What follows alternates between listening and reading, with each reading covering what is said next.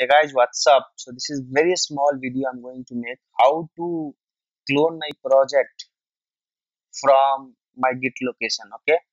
It is one of the simplest one. I every alternate day i get a mail saying that people are not able to clone my repository. They are not able to use it. So okay let me thought let me make a video.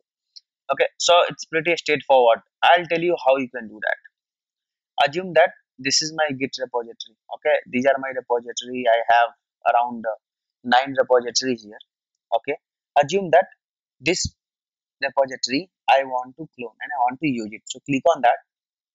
When you click on that you click on clone and copy this url so copy this url come to eclipse right click go to import okay?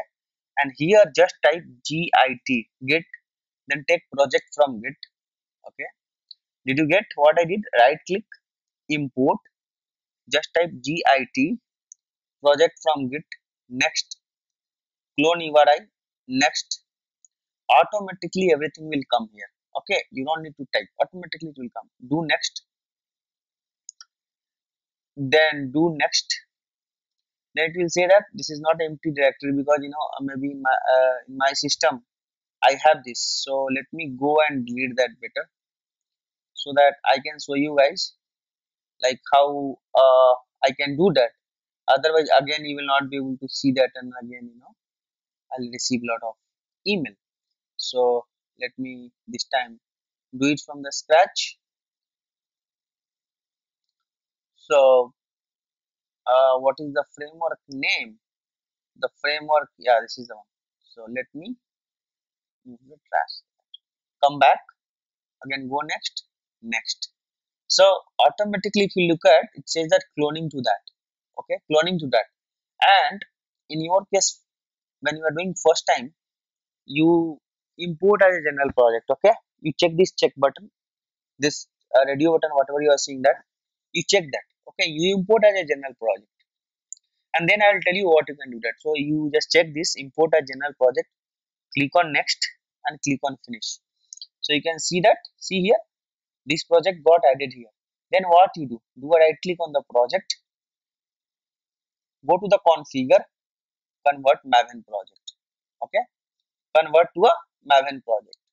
Right click configure. Convert to a maven project. Then what you do? Again do right click go to run as and click on maven install. So what happens?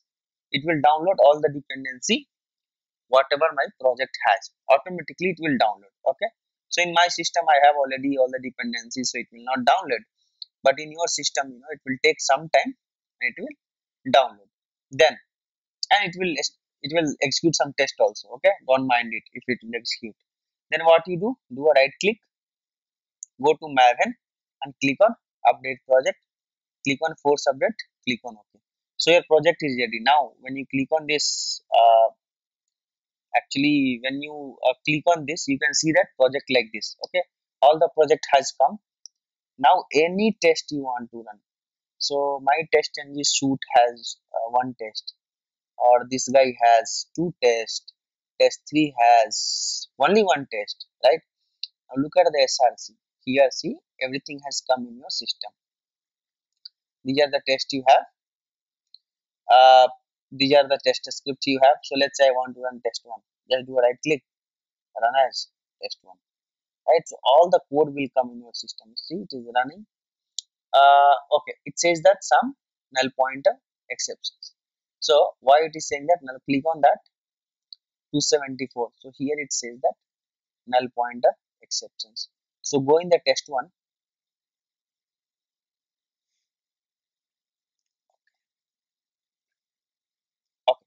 so it is saying that null pointer exceptions i will tell you why it is saying that.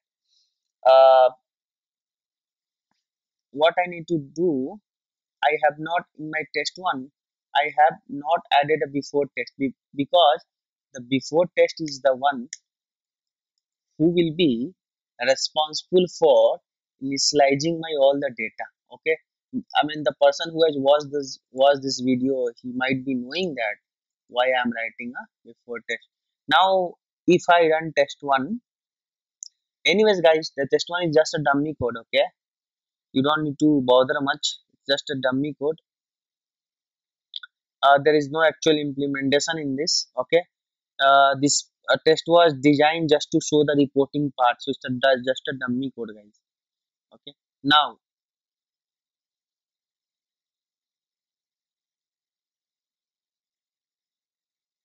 let me close this. Yeah. So just a dummy code guys. You don't need to don't need to bother much. Your actual test is this guy. Login one. This test. Okay? This is your actual test.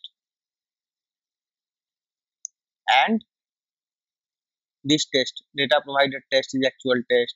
Test station is the actual test. So these are your tests you have. Now these are the suite file you have. So see i am able to clone. I am able to see all the code i can run that all the code okay? So this test one test two guys it's a dummy code. Don't bother for that. So that's how you can clone and that's how you can use my project. You can see that everything has come in your system pom.xml uh, the pom.xml whatever dependency it has everything came in your system. Now you can modify based on your requirement you can modify this project. That's how you can clone from the git repository thank you guys. Thank you for watching this. Hope this will help you to clone a lot of repository from the git. Okay not only my repository if you if you, it will help you in your company also to clone the project. So thank you guys. Thank you for watching this. Please like my video and subscribe my channel